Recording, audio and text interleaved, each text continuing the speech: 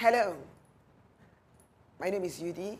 Today we'll be talking about andropause. Yes, I bet you've heard so much about menopause. Women who have gone through menopause are no longer ashamed or shy or embarrassed to talk about it. But the men are still embarrassed to talk about andropause because of the effects or how they think society will view them. Today we have Professor Ashiru, a professor of anatomy, uh, the medical director of Medical Arts Center. Today he's here to talk to us about andropause. Everything you wanted to know about andropause that you didn't and you don't. Everything you wanted to know about andropause but too embarrassed to ask your doctor or to talk about or share with a man or everything you're too embarrassed in your closet to let anybody know you're going through. Today we're going to be talking about it. So wives call your husbands and uh, gentlemen, watch this because you will definitely need to know and understand this.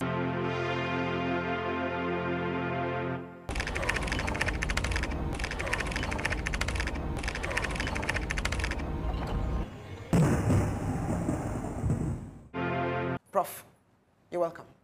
Thank you very much. Doctor, what is andropause?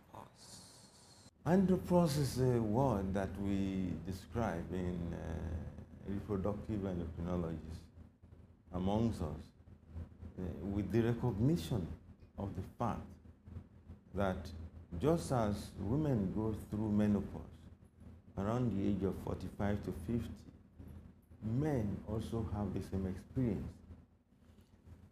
In contrast to women in which their menopause is associated with uh, the end of the reproductive system.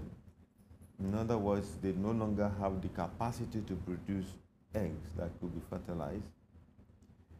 In case of men, andropause is not associated with uh, infertility because they can still produce sperm.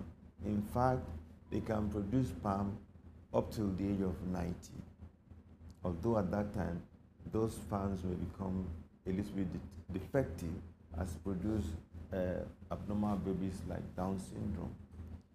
However, in their case, their andropause is associated with erectile dysfunction and the erectile dysfunctions comes in form of a, a loss of the desire for sex, or even if there is desire, uh, the lack of erection or the lack of ability to sustain erection or the lack of ability to have erection long, uh, strong enough in order to have a proper intercourse with the wife. That is andropause. What causes andropause? It's part of aging. Most men who have experienced andropause, they look back to when they were about maybe 10, 20 years earlier, and they had uh, erectile strength even early in the morning or whenever they, uh, they meet their partner, um, they have that urge and strength and the, the, the strong direction to sustain and continue a meaningful intercourse. It's been linked to a decrease in one of the male hormones known as testosterone. And we now find it that it's been, it's been shown from the age group as early as 35 up to the age group of 70. And this is the age group that andropause can manifest. It is recognized that almost 70% of men will reach this andropause in that age zone and some later. How can you and uh, how can you control it or slow it down? One of the things that manifests is that when the man first discovers this, most men would think that maybe it has to do with something with their wife. And many homes have been broken because of that. And they begin to look for alternative partners. Maybe that is what was wrong. And also, the woman thinking that the effect is due to some neglect of her by the husband begins to act in a way that she now resents the man. And what you need is a high level of cooperation between the two parties in order to reinforce the confidence of the man and enable him to increase the process of erectile ability. Is it reversible? Adam, um, androgen deficiency of the adult male is a process. It is not 100% reversible, but you can reverse it to a great extent that the man can cope with it. To the best of my knowledge, one of the best ways to reverse erectile dysfunction is to take the man through the process of body regeneration. Because in my earlier talk, where I had spoken about the anatomy of aging, that sugar is one of the commonest factors. Other factors include alcohol. They say that alcohol increases the desire for sex, but it reduces the performance. So, excess consumption of alcohol, body detoxification through a proper detoxification home where your body is cleaned of all the toxins that have accelerated your aging process, where the body has now been replenished with good nutrition, good vitamins, this erectile function is restored in a great Is it restored, is it restored as in uh, the aging process will no longer have effects on this part of the body? Absolutely. Simply because the, if I go a little bit down to the biochemistry, what has occurred is that for a young boy, the hormone, male hormone testosterone, is as high as about, let me put the figure six. For a man of 70, that level has gone down to about 0.5. How about a man of 50? It's been. We'll be right back. We'll be right back. Don't go anywhere. Uh, we'll be right back.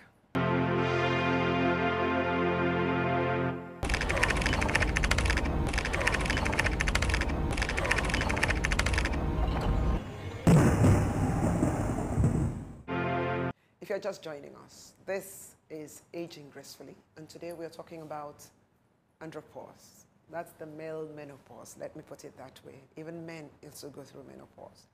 Prof, Yes. thank you. Uh, we're talking about, what, what question before it escapes The my mind? of testosterone. Uh, yes, in the man from 50. Yeah. And two, why are men so embarrassed to, for, uh, they wouldn't want people to know that they're going through this phase? Most, men don't talk about it. I think that is more of a Nigerian factor. In the US, a number of men come out, but the percentage is still low compared to women Yes. because women are the first to Talk recognize this and talk about it among themselves. But men, because of this ego of mancho, they, they believe that they are, they Uh, are not hip, complete without. they don't want to discuss it. And men have shown up when they know there's a solution. But when they think there is no solution, they're ready to hide it. And the solutions are, many, are manifold, right from dietary help to nutritional support to medication and to other methods that can be used to sustain erection. Uh, Prof, um, outside of the erectile uh, dysfunction, not being able to sustain a turgid erection like in your youth, uh, like they were in their 20s, 30s, 40s. I, uh, do you have other symptoms? Because while I was going through the internet, they talked about night sweats. They talked about hot flashes, that meant to have hot flashes. And they talked about um, uh, insomnia. Yes, I think, I think the first symptom of andropause is insomnia. Because as I explained, the brain has a center in it which is dark called pineal gland. It's just right below the back of the head in the brain portion. This hormone is the hormone that controls all the other organs of the body. And this hormone, unlike other organs that have uh, what, what we call stimulators, is on its own. It acts from extraordinary uh, supply of impulses. And the impulse that it comes off with is the melatonin, which comes out in the night to cause body regeneration. And by the daytime, it's sleeping so that you can be active. Now, when you don't sleep, when you don't have enough of that hormone, because your nutritional process has aged, that you can no longer metabolize the food to make the formation of that hormone. Your testosterone production is low because that hormone is not controlling the production of testosterone, which is a natural process. And all this is natural because the digestive process has aged as well. The absorption capacity for digestion is no longer there. So some of them are taking different drugs like Viagra, like this and all that, but they're not absorbing it maximally because the intestine is now operating at about maybe 20% efficiency. So the first line is to restore the capacity of the intestine to absorb nutrient and energize it, thereby giving restoration of energy into that process. I have uh, known men who up to the age of 85, 90 were still very active with their erectile ability. And I've known men who from the age of 35 are having problems with erection. So it has to do with how you handle yourself. Abuse of the body with alcohol in excess, with high carb carbohydrate intake, sugar that burns out the insulin mechanism, too much fat food. These are the things that can cause it. Next is that when you now have pot belly, it reduces the circulation of blood to the testes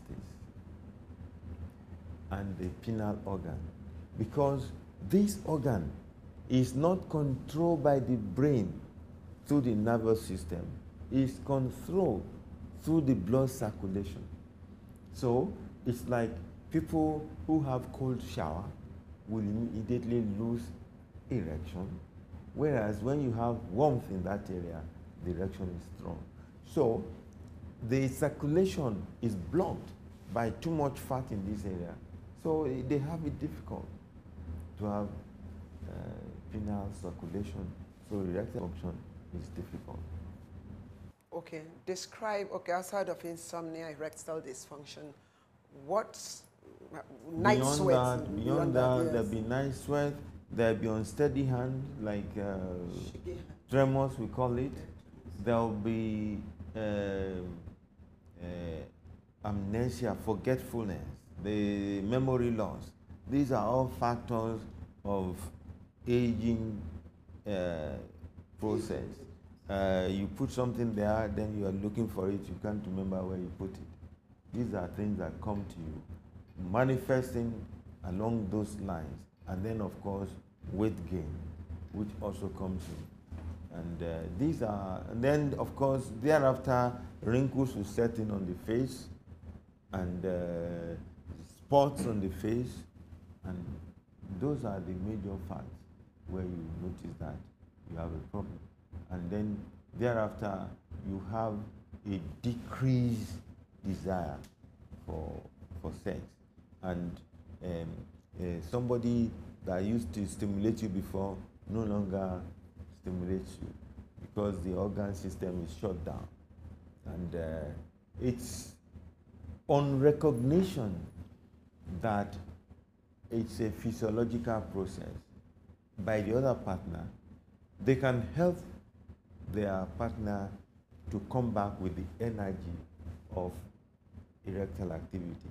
How is this so? Because when the man experiences it, he's trying very hard to restore that erection, to prove to the, to the partner that no, there's energy here. And the more he does that, the more the organ will fail because the woman is now showing uh, from overexcitement, is now showing some resentment, which shows on the man and he will lose it completely. Whereas when the woman cooperates and reassures him and uh, they relax and they start again, through the limbic system, one part of the brain, the control can be reactivated. He can now picture the process because sex is in the brain. He must now process himself to put that pathway to become active. We'll be right back, Prof. We'll be right back. We'll be right back. Don't go anywhere. We'll be right back.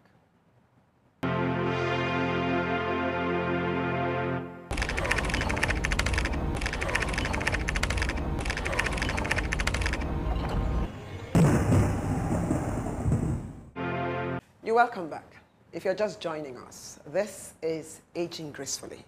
And today we are dealing with, the, with andropause. What is andropause? Is the male menopause. Yes, even men go through menopause and they have a lot of symptoms, but the most serious symptom that most men are too embarrassed to talk about or to even let their friends know is that of an erectile dysfunction. And today, Professor Dapo Ashiru, a professor of anatomy and the medical director, Medical Arts Center, is here discussing andropause generally and uh, with specific uh, um, stress on erectile dysfunction to help men out there that it's just an aging process. It's a process. Prof, thank you. And uh, in these remaining moments, outside of the change of nutrition, are there exercises, are there things that one can do aside of uh, cooperation uh, from the partner? Yeah. You know, as you said, as we described, that in addition to insomnia and to those other aging in other organs, the heart will also age and manifest with high blood pressure. The pancreas will age and they may show up with signs of diabetes. The muscles can age and they begin to show signs of joint ache and muscle weakness and arthritis. Those are things that will occur. And all these pathways are controlled by some uh, essential vitamins and cofactors which can be supplied. And in, in that way, apart from exercise, apart from cleaning the intestine so that we can improve the efficiency of the absorption process, we can now subject them to some uh, technologies. One of them is called the hypoxicator, which is a wonderful machine that will kill all the aging cells and allow the new cells to multiply. We also have something called uh, food typing, so that you can type your food, so that you know what food are making you to age faster and stay away from them and recognize the food that are compatible to your body that will enable you to age very well. We also have that. We have what, what is being used by the astronauts when they travel, the scanner machine that you can use on the body to make it to become reactivated. These are things that have been developed in a good setting in, in the process of holistic body detoxification. Not the type that just not uh, that will just take care of one or two things, but under medical supervision. Because when you detoxify in some process, you can actually, it can be very uh, life-threatening.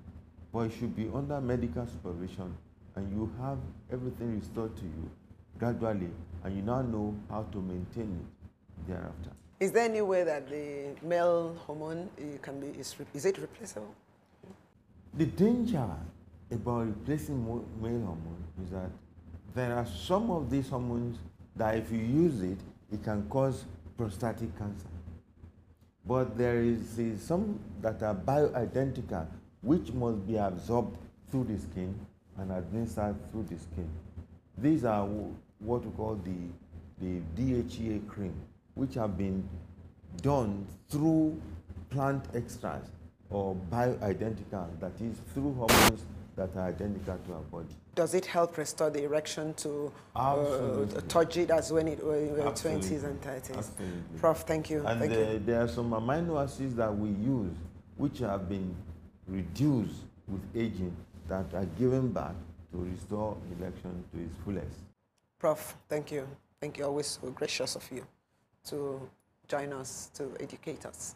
Thank, thank you. you. for your time. Thank you. And viewers, thank you for your time. And I'm sure you have learned a lot and that uh, aging is a process and there's so much you can do to retard the aging process by fighting it all the way. There's so many things out there for you. To, there's so much information out there for you to uh, look for and study them and find a way to get through to where help is to help you restore your self back to where you were or where you thought you were comfortable. And this will help you retard the indignities, the insults of the aging process, and uh, help you lead a better life as for the remaining part of your years. Thank you for your time, and you have a wonderful week ahead of you. And my name is Udy, and God bless you. フフフフ。